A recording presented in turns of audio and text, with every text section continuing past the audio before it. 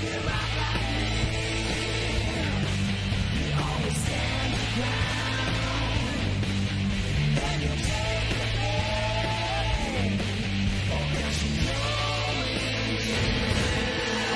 and gentlemen, Rey Mysterio has made a vow to take on all challengers in the Intercontinental Championship, and tonight, Rey has accepted a challenge from the Friday Night Delight. John Morrison, the title's on the line in our main event, Mysterio and Morrison. Teddy! Teddy, I'm your world heavyweight champion. Do you see that? That's my ring time. That's my that's my interview time. And you got I got Matt jumping me from behind. I mean, there's no telling what he's on. He's hopped up on something. It's probably the same stuff his brother Jeff's hopped up on. What what are you gonna do about this? I'll tell you what. If you got a problem with what Matt just did, Yeah, obviously I do. well, I say let's settle it in the ring.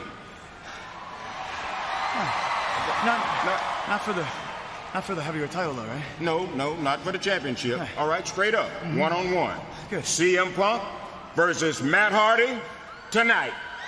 Good. Good.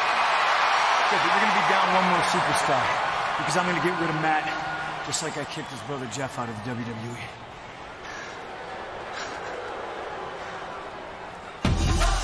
Very proactive general manager Theodore Long making a match of the spot. Another main event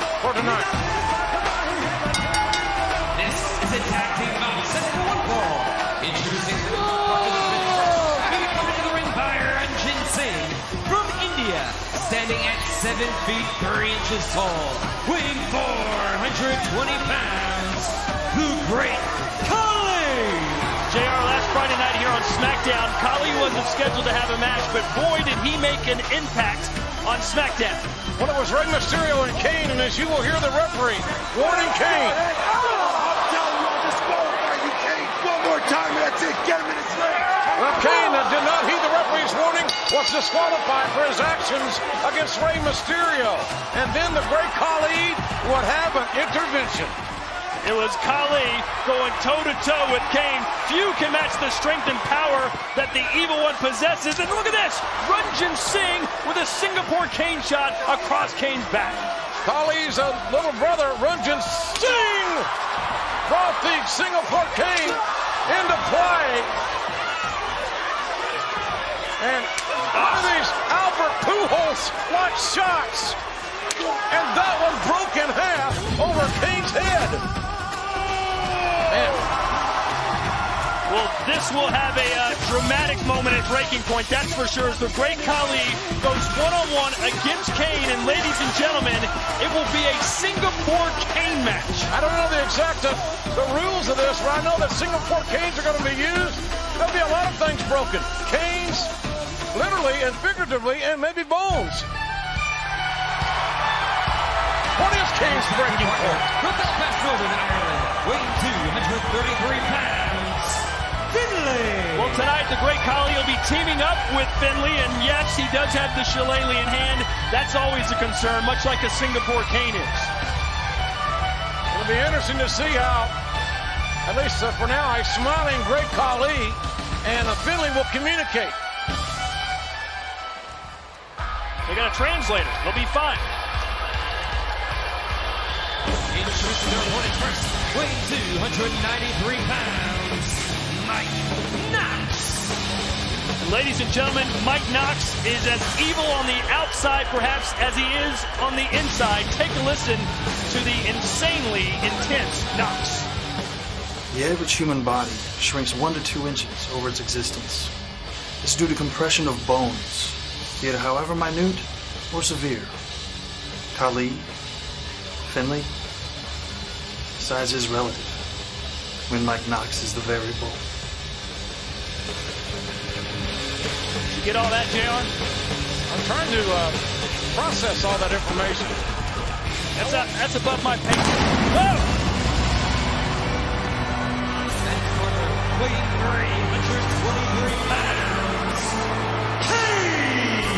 He'll come through Hellfire and Brimstone. Well, the Big Red Machine to team up with Mike Knox. And after hearing what Knox had to say, you got to wonder if Knox's middle name is Lecter or something along those lines. This is an interesting tag team matchup. Knox and Kane could make a very impressive duo, and we know that Finlay, with all his experience at Khali at 7'3", 420, make an imposing duo. You imagine the pregame conversation that Kane and Mike Knox had? I bet there was a lot of diabolical laughter involved. They are both mountainous, and they have tons and tons of power, Mike Knox and Kane. But don't count Finlay out. He does, after all, love to fight. Finlay is as, as aggressive and as uh, unintimidable as anyone in WWE.